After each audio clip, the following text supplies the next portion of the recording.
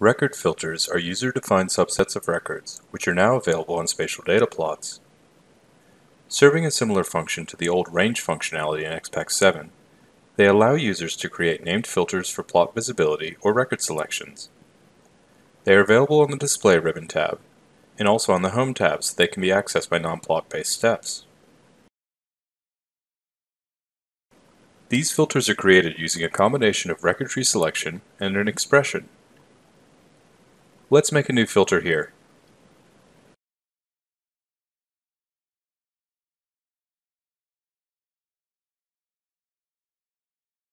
We'll include these pushbacks, and use the filter expression to exclude records based on grade.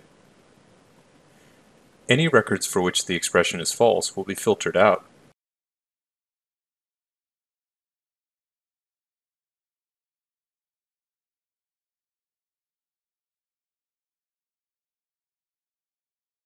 We can see which records are excluded outright through record selection and which have been filtered by the expression.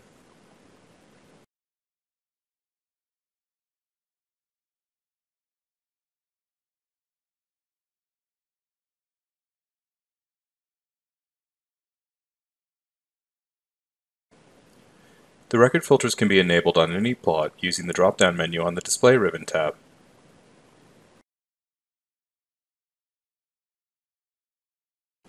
Users can quickly switch between them, and only one filter can be active at a time.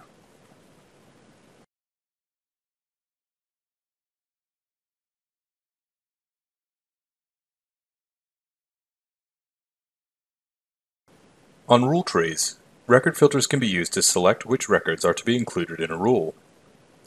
They can be accessed by right-clicking on the tree and clicking Select Records from existing filter. This opens the Apply Record Filter to Rule window. From here you can use a record filter to select records the rule will be applied to. The checkbox in the bottom right of the window controls how partially selected records are treated. Partially selected records are records which are not completely included in the record filter at the lowest selectable level for a rule. For example, the current rule we're looking at only goes down to the bench level. When the box is checked, Benches which have one or more blocks included in the record filter will be included in the rule. When the box is unchecked, only benches which have all blocks included in the filter will be included in the rule. When using record filters to select records to be included in rules, it's important to remember that this is a selection tool and not a direct link to the record filter. Changing the record filter will not update the records in the rule. This was an intentional choice to avoid breaking schedules with record filter or database changes.